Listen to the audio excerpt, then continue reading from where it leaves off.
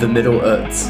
Like most rivers in this valley, it is fast, steep, powerful, and chock full of rocks you don't want to mess with. And that's just at normal levels. As the river rises above 225 on the gauge, it takes on a whole new characteristic. It is so pushy and chaotic, no lap is the same as the last, and it's full on Fight Club in there.